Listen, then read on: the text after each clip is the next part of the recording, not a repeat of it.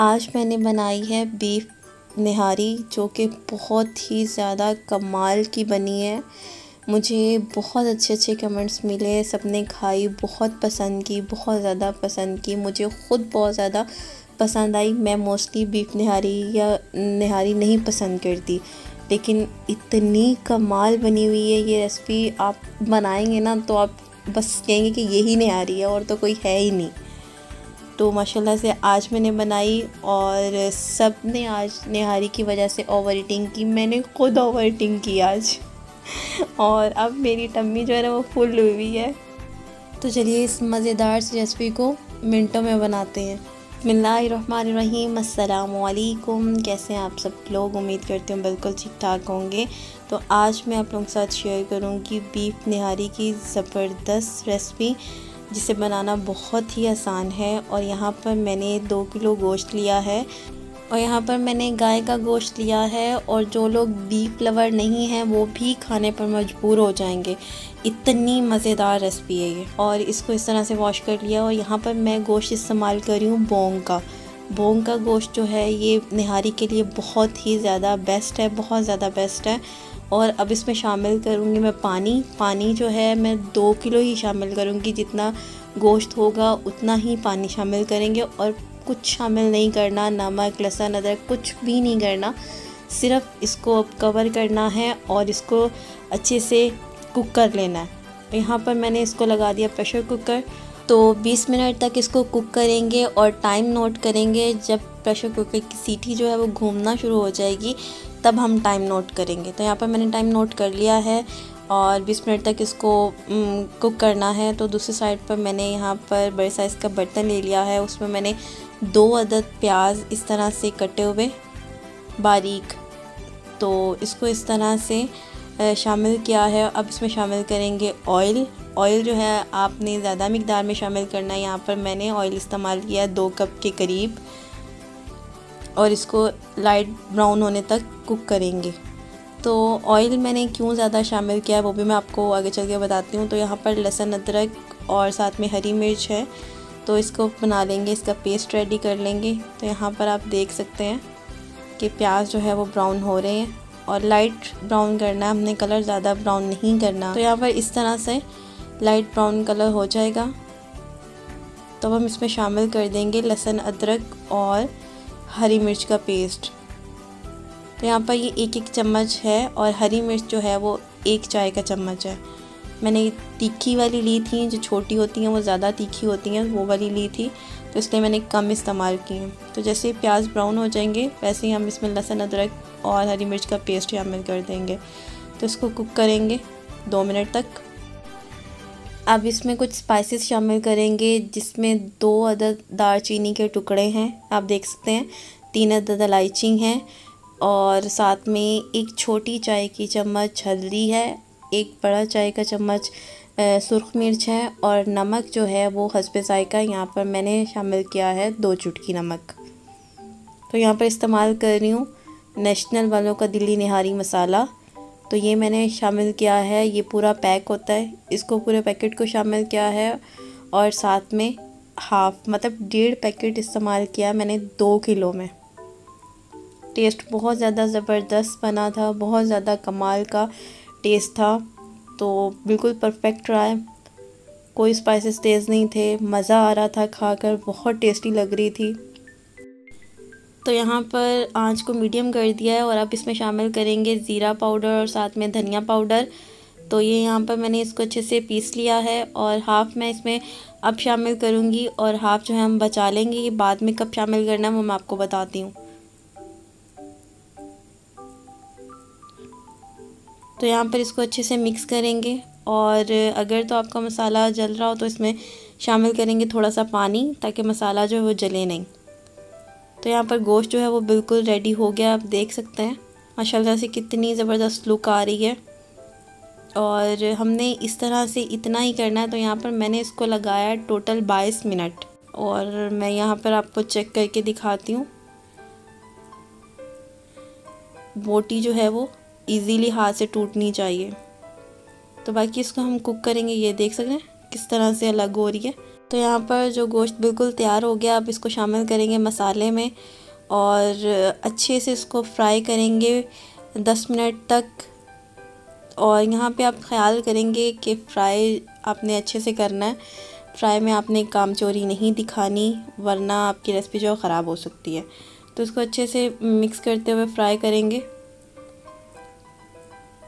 क्योंकि सारा काम जो है ना, ये भुनाई पर होता है।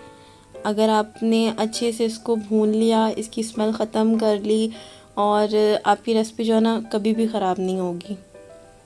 अगर आप लोग कहते हैं कि बस अच्छी भी बनी हो और चीज़ और ज़्यादा मेहनत भी ना हो तो ऐसा नहीं होता। तो दिल से बनाया करें, जब भी बनाएँ और चीज़ ज़रूर अच्छी बनती है। और मुझे तो शौक़ है और मैं हमेशा दिल से ही बनाती हूँ, हाथों से नहीं बनाती। तो यहाँ पर आप देख सकते हैं, इसको फ्राई कर रही हूँ मैं। दिल से बनाती हूँ, इसका मतलब ये है कि जो भी चीज़ मुझे बनानी होती है ना, वो मैं खुशी से बनाती हूँ। और मेरी ये दुआ होती है कि हर चीज़ परफेक्ट रहे। और मुझे अल्हम्दुलिल्लाह बहुत अच्छे कमेंट मिलते हैं, मैं जो भी बनाऊँ, सब बहुत ज़्यादा पसंद करते हैं और बहुत अच्छी बनती है, अल्हम्दुलिल्लाह। तो आज इसने आरी ने ना कमाल ही कर दिया। बहुत मज़ेदार बनी थी, बहुत बहुत बहुत मज़ेदार बनी थी। तो यहाँ पर मैंने दो अदद लेमू लिए हैं, उनका रस निकाल लिया है और वो शामिल किया है मैंने और अब इसको मज़ीद फ्राई करेंगे दो मिनट तक। लीमू के रस को और गोश्त को आप देख सकते हैं और एहतियात रखिएगा कि गोश्त की जो बोटियाँ ना, वो खुरनी नहीं चाहिए, वो टूटनी नहीं चाहिए और सॉफ्ट इतनी होनी चाहिए कि इजीली अलग हो जाए। तो यहाँ पर अब मैंने इसमें शामिल किया यखनी। तो जितना हमारे पास गोश्त है, हम उतनी ही यखनी इसमें शामिल करेंगे।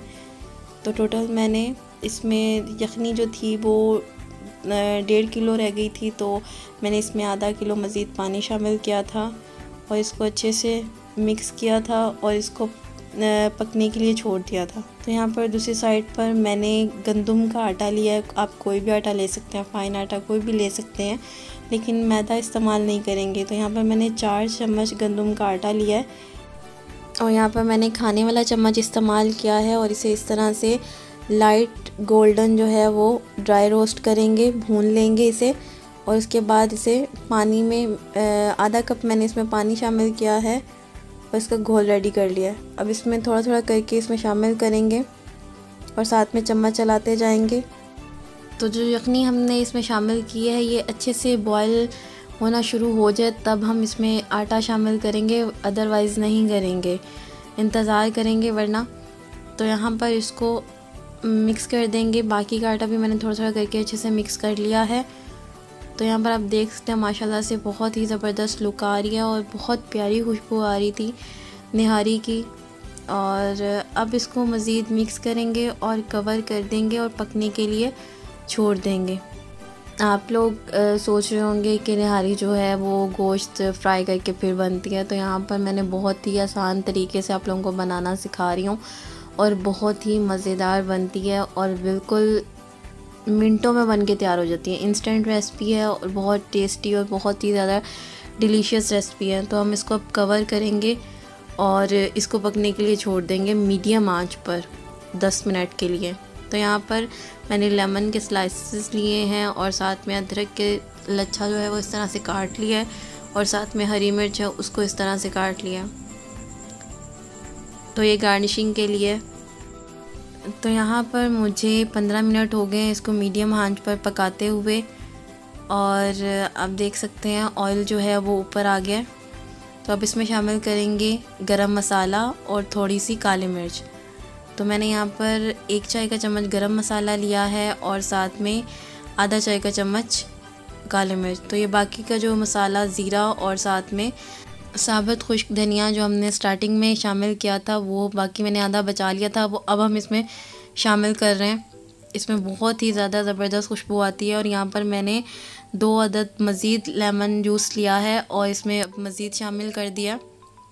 तो अब इसको अच्छे से मिक्स कर देंगे। तो आप देख सकते हैं माशाल्लाह से कितनी ज़बरदस्त लुक लग रही है। और इसको अगेन मिक्स करेंगे और 10 मिनट तक इसको लो फ्लेम पर पकने के लिए छोड़ देंगे। तो यहाँ पर मैंने लो फ्लेम पर ना इसको 20 मिनट तक कुक किया है और यहाँ पर बिल्कुल तैयार हो गई है, मज़ेदार सी निहारी। आप देख सकते हैं लुक कितनी ज़बरदस्त लग रही है और इसकी बोटियाँ देखें, कितनी इजीली अलग हो रही हैं। और बिल्कुल भी बोटी टूटी हुई नहीं है और इसी तरह निहारी की होनी चाहिए बोटी बिल्कुल अलग, अलहदा होनी चाहिए बिल्कुल। टोटल इस रेसिपी को ना 40 टू 45 मिनट्स लगते हैं बस और मज़ेदार सी निहारी बनकर तैयार हो जाती है। कुछ नहीं करना पड़ता इजीली आप इसको बना सकते हैं। तो यहाँ पर मैं इसको सर्व कर रही हूँ, मैंने इसे बाउल में शामिल कर दिया है और मैंने ऑयल इसमें जो शामिल किया था, उसको मैंने ऑयल को निकाल लिया था जब मैं फ्राई कर रही थी। तो वही ऑयल मैंने इसमें बाद में शामिल किया है। और मैंने इसमें कोई कलर वाली मिर्च इस्तेमाल नहीं की, कुछ नहीं किया। इसका अपना ओरिजिनल कलर है और ऊपर से शामिल कर देंगे थोड़ा सा गरम मसाला और साथ में काली मिर्च। और इसमें मैंने ब्राउन प्याज शामिल किए हैं और साथ में हरी मिर्च। और शामिल करेंगे इसमें थोड़ा सा अदरक और साथ में लीमू के स्लाइस और यहाँ पर ये सर्विंग के लिए बिल्कुल तैयार है और निहारी में सब धनिया नहीं जाता। अगर आप डालना चाहते हो तो आपकी मर्ज़ी है। तो ट्राई ज़रूर कीजिएगा। इन आपको पसंद आएगी ये मज़ेदार सी रेसिपी। पसंद आए तो अपना फीडबैक मेरे साथ लाजमी शेयर कीजिएगा और निहारी के लिए ना बोंग का गोश्त बेस्ट होता है। और अगर आपके पास बोंग का गोश्त नहीं है तो आप कोई भी गोश्त ले सकते हैं। इसका ये मसला नहीं है। तो इन मिलते हैं नेक्स्ट वीडियो में। अपना बहुत सारा ख्याल रखिएगा, मुझे दुआ में याद रखिएगा, मुझे दें इजाज़त। तब तक के लिए अल्लाह हाफिज़ बाय